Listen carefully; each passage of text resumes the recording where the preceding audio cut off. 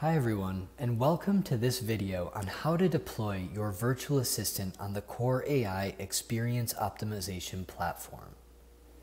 When you click on the Deploy tab, the first page you come to is Channels, where you can select from over 35 channels to deploy the virtual assistant out of the box.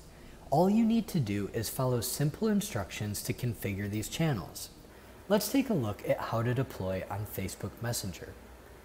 Here you can see the step-by-step -step process to deploy on this channel, and then you can input the appropriate information on the Configurations tab to take your virtual assistant live. It's that simple. We can also see how easy it is to enable this experience in a web or mobile widget that can be embedded in a website or app. And you can even customize the look and feel of the widget all within the platform. Once we've selected the channels we want to deploy to, we go to the Publish tab, where all it takes to go live is clicking the Proceed button.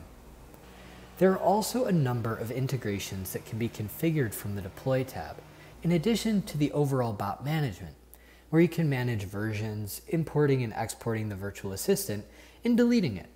Finally, you can review all of the change logs to see how the virtual assistant has developed over time. That wraps up our overview of the deployment process, which is easy like Sunday morning. Thanks for watching and visit kore.ai if you want to learn more.